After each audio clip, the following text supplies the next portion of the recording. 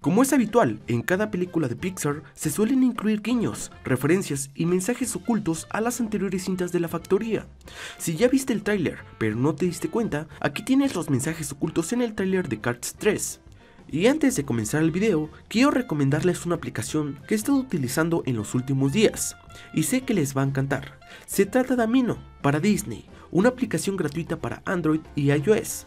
Se trata de una gran comunidad para los amantes del mundo de Disney donde obtendremos noticias de lo último, conocemos a otros fans y tú también puedes compartir tus teorías sobre películas o algunos datos curiosos.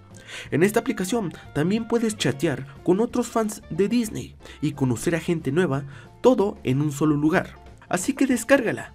A las primeras 50 personas que me agreguen a mi perfil, estaré platicando de lo que quieran. Sin más que decir, vamos con el video.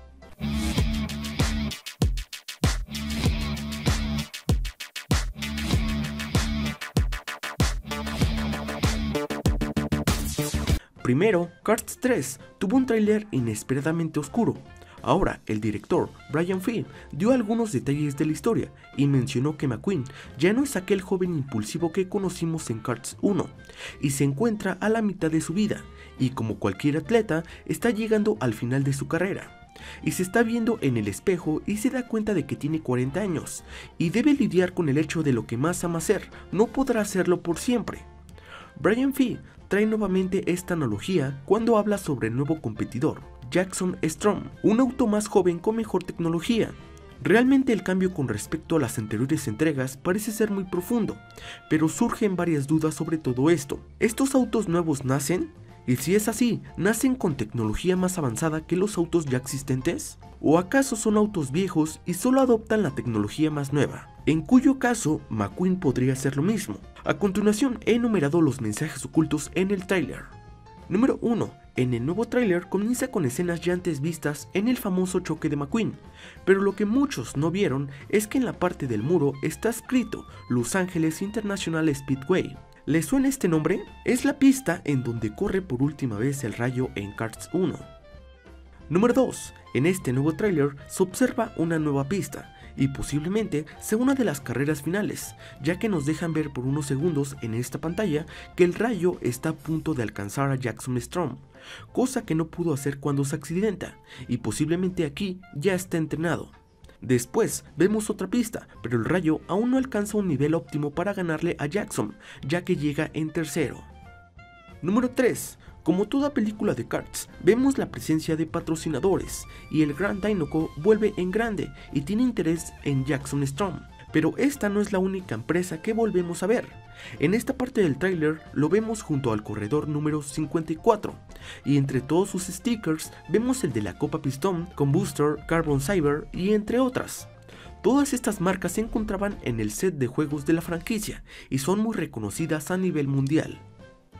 Número 4. Al final del avance, nos encontramos a McQueen corriendo en una pista desconocida, llena de fuego y lodo. Lo verdaderamente curioso es que en esta escena el rayo no tiene su peculiar número 95 y tiene el número 15, decisión posiblemente tomada para pasar desapercibido. Número 5. Esta parte del primer tráiler pensábamos que se trataba de un sueño, pero lamentablemente en este avance vemos que no. El choque es real y le trae verdaderas consecuencias al rayo. La escena que vimos por primera vez posiblemente sea un recuerdo del rayo, ya que se ve el choque más estrepitosamente de lo que fue. Número 6. Según ha explicado el director de Pixar, John Lester, la película incluye escenas que homenajean al fallecido Paul Hetman, que daba voz a Doug Hudson. Según Lester, la película es muy emotiva y trata de su relación y sus recuerdos con Doug Hudson.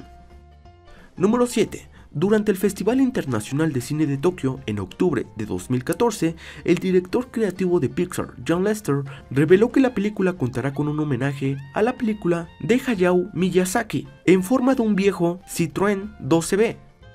Poco a poco van apareciendo más detalles de la historia, y cuando veamos más trailers podremos realizar mejores teorías de lo que nos espera. Mientras tanto, por llevar el sello Pixar, sin duda tiene mi boleto garantizado. Estos son los 7 mensajes ocultos en el tráiler de Cards 3. Espero que te haya llamado la atención y que te haya agradado. Comenta qué te pareció el video y si tú conoces algún mensaje oculto, no olvides comentarlo.